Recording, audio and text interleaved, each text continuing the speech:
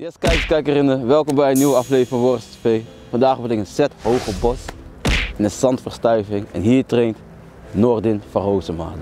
Laten we kijken nemen zijn worstleven. Ik ben Noordin van Roosmalen. Mijn bijnaam is de Viking. Eindkomend van team Noordin van Roosmalen. Mijn fighting record is 73 partijen, waarvan 71 winst, 2 verloren en waarvan ik op 49 op co heb afgesloten. Welkom in mijn Warriors leven. Oes.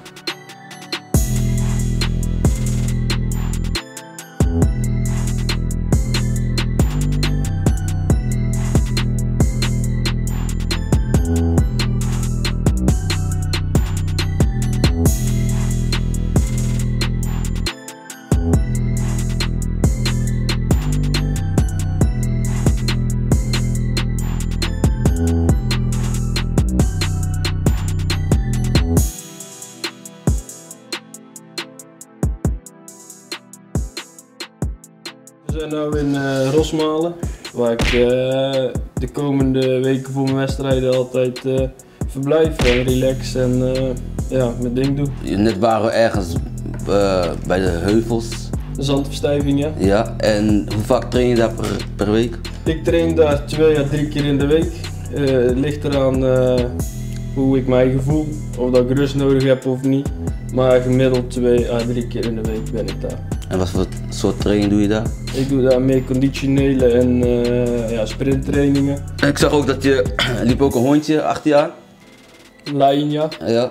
Dat is mijn hondje. Dat is eh ja, tackeltje. We hebben nog we hebben twee tackeltjes en een pitbull. Die pitbull is wat ouder, die is 10, die, eh, die ligt liever. En de andere tackeltje is zwanger, dus ja, die komen niet achterna rennen, maar die gaat normaal wel mee. En wat me ook opviel, ik, ik zag iets in je nek. Elisa, Ja, dat is mijn vriendin. We zijn er bijna vier jaar samen en eh, ja, het gaat eh, wel goed en eh, het gaat super zelfs. En in de tijden dat ze moest staan, heeft ze voor mij gestaan. En ja, het is ook geen makkelijk leven om met mij te leiden en zo. Want te zeggen eerlijk, ik ben sporten. In het weekend kan je ook niet alle dingen doen die, die mogelijk zijn voor je sport. En ja, en ze heeft er begrip voor, dus ja, het is wel daarvoor die naam. Trainen is trainen, werk is werk en eh, in mijn vrije tijd dan maak ik zoveel mogelijk tijd voor de klaar. Maar ja, ja voor, ik snap wel dat het zwaar voor is af en toe. Dit zijn mijn twee belts. Als ik een uurtje of twee rust nodig heb, ga ik hier slapen, ga ik tv kijken en kan ik ook naar mijn riemen kijken allebei. en deze heb je gewonnen in. Italië, hier was ik net 18 geworden. Ja. Vocht ik tegen Bruno Franchi en die eh, won ik op de eerste ronde knockout. En die heb ik gewonnen in Suriname. Dat was twee jaar geleden in december. En eh, heb ik daar de favoriet verslagen. En eh, ja, dat was de derde ronde op knockout en eh, op een backfist. En dat is eigenlijk ook wel eigenlijk de ja, eigenlijk soort doorbraak geweest dat je echt van zegt van dat mensen je wel herkenden.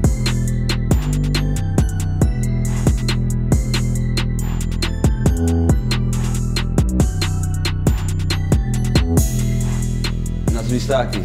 Naast uh, Jean. Ik ben eh, van JNR Luchttechnieken. Ja, wij zijn een eh, luchttechnisch bedrijf en, eh, en mede sponsor van uh, en Roosmalen. En hoe lang sponsor je Noordin? Wij sponsoren nou, ik weet het niet precies, want we zijn er sinds kort mee begonnen. Ik denk nou een half jaar ongeveer. En eh, van tevoren uh, waren we wel als echt supporter altijd bij zijn wedstrijden en zo. En toen op een gegeven moment hebben we de stap genomen om te zeggen van, ja, kunnen misschien wel iets voor elkaar betekenen. Hoe talentvol vind je die man? Ja, heel talentvol. Want daarom eh, hebben we ook die keuze gemaakt. Omdat we ook al een beetje toekomst in zien. Kijk, nou zijn we er vroeg bij. Kijk, dan heeft het in de toekomst kan het ook nog leuk zijn voor ons. Want ja, dan als je, het beter, als je echt doorbreekt, wat je al goed mee onderweg is, zeker ook baat bij natuurlijk. Hij gaat natuurlijk ook naar Abu Dhabi. Ja, Ehm, hoe denk je hoe je het daar gaat doen? hoe je het daar gaat doen. Ja. Winnen natuurlijk. Dus ja, ik weet het niet. Kijk, ik heb er gewoon volledige vertrouwen in. Alleen ja, dat is natuurlijk altijd heel moeilijk om te zeggen. Want kijk, ja, ik, ik zet me gewoon op. Kijk, het is natuurlijk wel iets wat er serieus ergens om gaat. Maar ja, dat betekent partij natuurlijk ook. Denk je dat een KO'tje gaat vallen? Ja, uiteraard gewoon zeker, klaar. Oké, Ja, duidelijk. ja.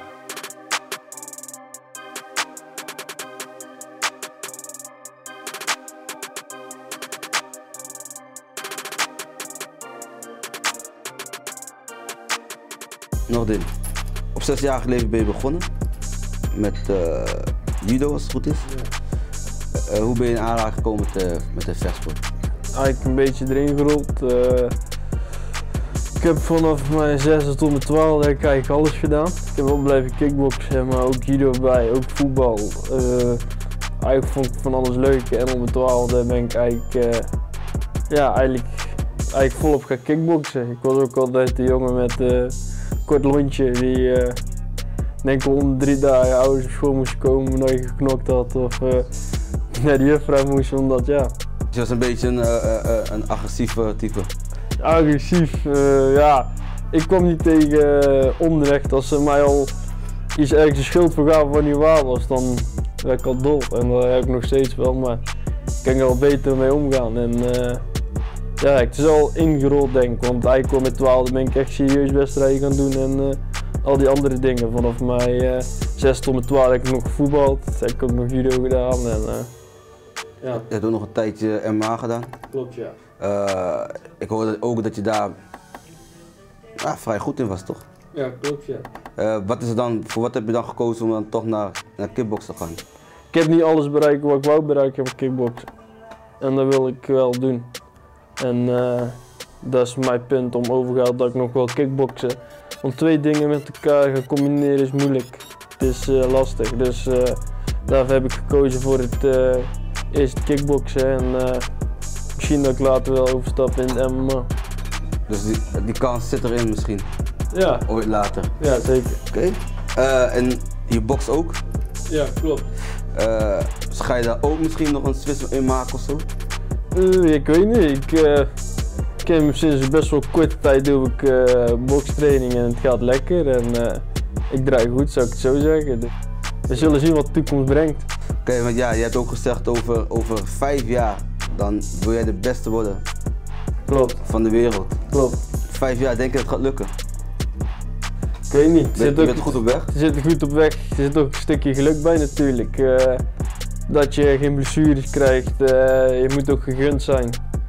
Ja, meer kan je niet doen hè. Nee, klopt. En, eh, want eh, ik heb jou toen gesproken in, bij Fight Sense, toen in Den Haag. Klopt, toen was je, ja, werd je getekend op dat moment. klopt. Sinds, hoe is het nu gelopen voor de rest in je leven? Hoeveel dingen zijn er veranderd? elke stap, elke wedstrijd is toch weer een stap dichterbij. Ja, iets groter, snap je? En in die korte tijd, in die vijf maanden, heb ik toch alweer vijf wedstrijden gevochten. Voor Infusion dan.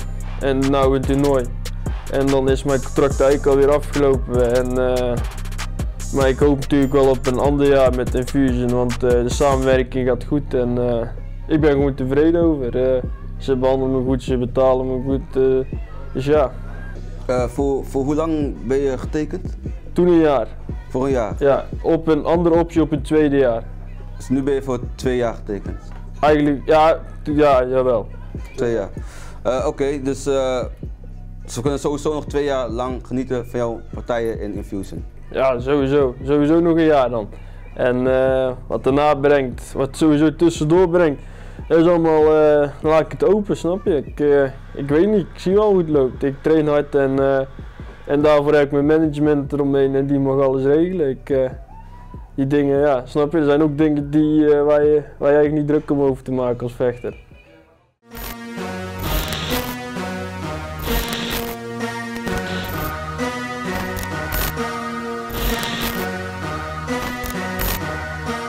Noordin, wie was Ja. je moeilijkste tegenstander? Kalla. Waarom? Kalla. Omdat ik de laatste minuten sneeuw onder mijn ogen opliep. Tomatensoep met gehaktballen of zonder? Met. Je hond weg of je vriendin? Lastig. Die is echt voor mij. Ja, dat hond. Bij welke partij heb je het meeste verdiend en hoeveel? En Fusion Eindhoven, maar dat komt door mijn VIP-tafel. Lesgeven aan jeugd of aan veteranen? Aan jeugd. Waarom? Omdat ze altijd wat speelse zijn. eh veteranen is ook wel leuk, maar ik vind het gewoon leuk om met jeugd te werken. Ik doe het ook heel lang, dus. In één jaar de beste vechter van Infusion of vijf jaar en de beste van de wereld? Vijf jaar beste van de wereld. En wie zou je als KO willen staan in de ring? Eh Doen B. Waarom? Omdat ik hem wel als de beste zie van de top. En eh, ja, hij heeft wel veel leuke jongens, goede jongens verslagen. En eh, ik zie hem wel als, een, eh, als de top. Goed. Nou, je bent geslaagd. Dankjewel. Wat je zo netjes hebt gedaan, broer, mag ik jou officieel de Warriors shirt geven met je naam erop. Dankjewel man. Gefeliciteerd. Dankjewel. Relax man. Ja, toch goed. En eh, we zijn nog niet helemaal klaar.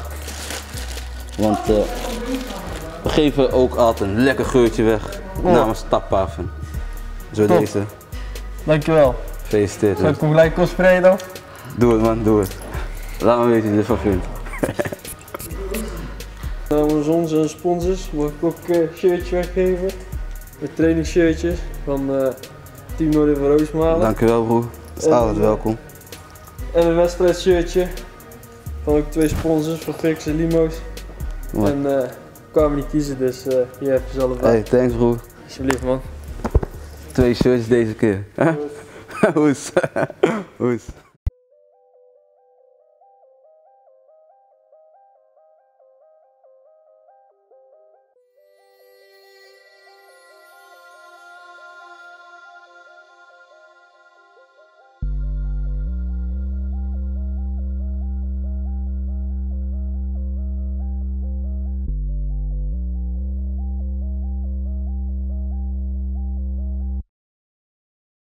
Is je naam? Marco, Marco Udink. Is uw zaak, neem ik aan. Ja, bijna tien jaar. April eh, zit ik nog tien jaar hier. Ik ben zomaar lekker begonnen. Ik denk, ja, moet ik een keer iets van mijn eigen beginnen. Daar ben ik hiermee begonnen. En eh, het resultaat dat ik hier nou eh, een uitbreiding heb. En eh, ja, dit is het. Je sponsort vechters. Ja, Welke vechters allemaal? onze Nordin, Bambi, ehm Robbie Hageman, Kameeltje. Ja, er zijn nog wel denk ik nog eh, tien meer denk ik, ja. Maar ja. we zijn nu van Noordin. Hoe ben je in aanraking gekomen met Noordin? Waar ken je hem van? Dat is eigenlijk gewoon van de vechtsport. Hè. Ik, eh, hij is een keer hier geweest met Errol. Ja, zo hebben we een, een goede band gekregen. Hè. Meer ook vriendschap geworden nou. Hè. En hoe vaak komt hij binnen? Minimaal één keer in de week. Ja. En dan gaat hij altijd met iets weg. Eh, niet altijd, dat komt ook voor de gezelligheid. Even lekker eten en hij vreet mijn snoeppot leeg en dan, eh, dan gaat hij weer. Dat zag ik net, ja. Ja, belangrijk hè. Een beetje vriendschap vind ik belangrijker als de rest. Hè. En eh, hij gaat eh, vechten in Abu Dhabi natuurlijk, voor die ton. Ja, hoe denk je hoe hij het daar gaat doen? knallen zoals gewoonlijk. Gewoon de knalpartij. Ja, en dan gaat gewoon met de winst naar huis. Ook veel partijen van hem gezien? Ja, ik, bijna alle partijen ben ik bij, ja. VIP? Meestal wel, ja. Oké. Dus, en in de toekomst, wat denk je waar hij heen gaat? Ja, hij zit nou wel hoog, hè. Nee, nou, dat kan alleen maar hoger. Ik heb alle vertrouwen in. De beste van de wereld? 100%. Ja, van mij is het nou wel, maar ja, hij moet zijn eigen nog een beetje bewijzen. hè.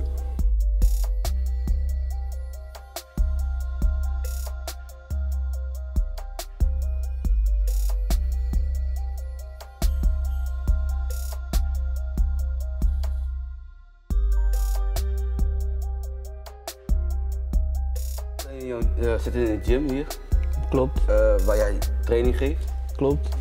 Eh, hoe vaak per week geef je eh, les? Tussen 10 en 12 keer wel. Aan eh ja, opkomend talent, jeugdjongens die eh, wel inzet tonen en eh, wedstrijden willen gaan doen. Heb je dit jaar verloren? Eén keer in februari tegen Lacobi. Vertel me een beetje wat meer erover. Oeh, was in Eindhoven als meest eh, wereldtitelgevecht van Fusion. Hard getraind, eh, was fit, was goed voorbereid. Alleen eh, in mijn hoofd ging het sneller dan eh, mijn lichaam ging. Dus ja, dus, dit was gewoon mijn dag niet en ja, dingen heb je gebeuren. Nou zijn we in ieder geval zes wedstrijden verder en ik met zes wedstrijden heb ik weer achter elkaar gewonnen. Dus ja, Want ik sprak er toen eh, ook bij Five Cents toen. En dan kwam je net terug van een, een, een WFL in China. klopt ja. Wat heb je daar gewonnen? Gewoon een wedstrijd, gewoon een losse partij. Eh, tegen een hele goede Chinees op van de Kung Fu kampioen in China. Min 75 kilo, was een sterke Chinees en eh, heb ik ook gewonnen. Punten. Je gebruikt vaak je handen. Eh, Klopt. Wat is de reden? Eh, als je hongerig wordt, dan vergeet je gewoon dingen, ik weet niet. Dan eh, in mijn hoofd dan gaat de knopje om en eh, het is gaaf. Maar zie je het als slordigheid? Want je slaat nog wel KO. Dus Ja, Hoe Ja, je ziet het ook als slordigheid. eh, maar ik begin mijn laatste wedstrijd wel veel meer te trappen. Want alles bij mij is wel een wapen hoe hard het is. Mijn benen zijn, nooit, eh, zijn net zo hard als mijn stoten. Dus ja. Kunnen we, kunnen we een andere, eh, andere Nordin verwachten in, in Abu Dhabi? Meer voeten, meer knietjes. Ik denk het wel. Ik denk het wel. Want ik spar meer. We zijn wel compleet. we hebben ook weer een scheepje bovenop gedaan. Het is toch een toernooi waar je veel dingen kunnen veranderen. Je hebt ook een partij gehad dat je vier rondes moest. Klopt ja. Eh, Ons laatste toernooi. ja, het publiek. Ja, het is Duits publiek. Die is liever zijn eigen dingen winnen, snap je? Hij was lang, dat is het enige wat hij had. En eh, hij wist zelf niet wat hij moest doen en daarvoor was hij best wel onvoorspelbaar. Dus ja, het was eh, voor de rest die extra ronde vond ik ook niet echt nodig. Maar ja, ik heb hem gevochten en ik vond dat ik de eerste extra ronde zeker gewonnen had. Op dat moment ben ik wel slim gaan vechten en heb ik wel eh mijn punten gepakt. De bijnaam Viking. Van waar? Dat ik geknokken ben. En dat ik, eh, als ik bloed zie, wil ik meer. Dat zijn een paar keer al gehoord, gelijk op een viking. Dus ja, ze hebben de serie gekeken en eh, ja, het is, wel echt, het is wel echt zo. Ja, ik hoorde voor het eerst van jou toen je tegen in uh, Groningen moest vechten. Tegen Armen. Klopt ja. En je hebt een behoorlijke grote fanbase ook. Hoe, hoe, hoe Klopt. kom je aan zo'n grote fanbase?